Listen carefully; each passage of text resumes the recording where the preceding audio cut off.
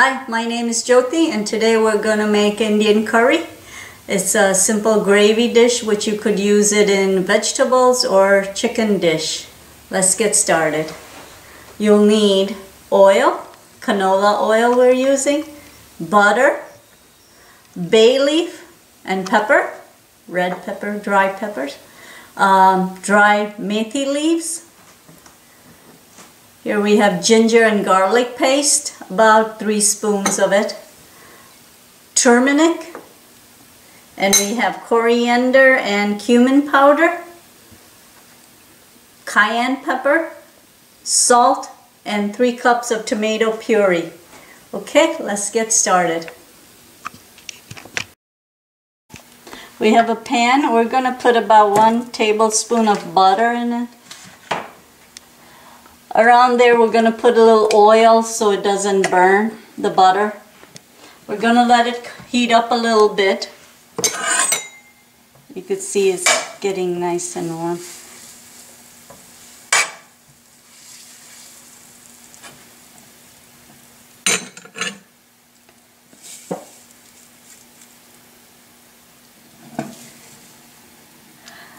So now I'm going to crush some um, dry methi leaves here. I like the aroma that brings the dry methi leaves in there. I'm going to put some bay leaf and the peppers in there.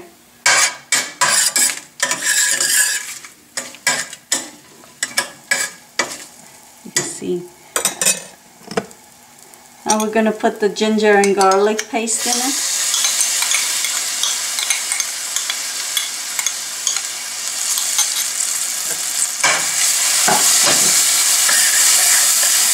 We're gonna cook it so all the rawness of the garlic and ginger is gone. Takes about a minute or so for that to happen. And you can really smell the garlic at this time.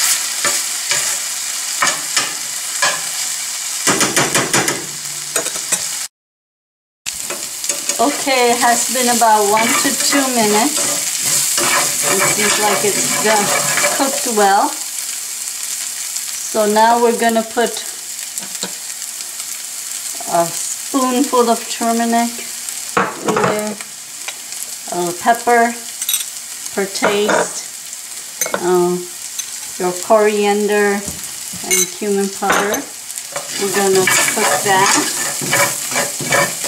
Just stir that up a little. You can see it gets a little hard to do that. Um, put the tomato puree in.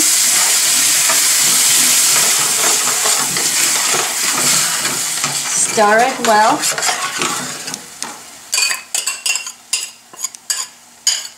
It gets a little bit water in the pan, the bowl to rinse it out. Put a little water because the water is going to burn out on the sauce. So we're going to we're going to keep stirring this. Give it about four to five minutes. Let it all come together. We didn't add salt yet. It's about three minutes and you can see it's getting thick. We're going to add a little bit more water to this it evaporates really quick with it when you have your gas high. We're going to keep it going high for a few more minutes.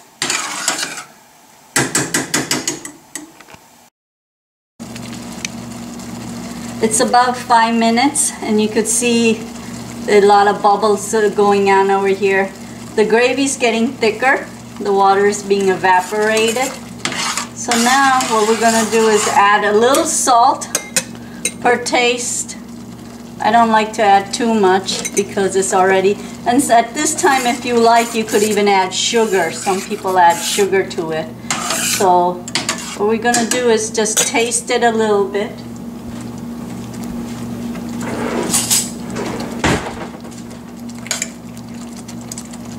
Mmm,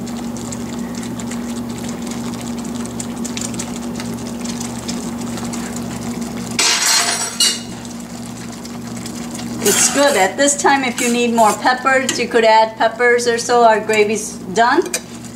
What we're gonna do is add more dry methi leaves, which I love in here. Has a nice aroma to it too. So, so I added with the oil at the beginning and then at the final stage. So our gravy's done. Now we could turn off our gas and let it cool. You could put it in a container or at this time you could put vegetables or chicken added to it and your dish is done. Enjoy. Thank you for watching.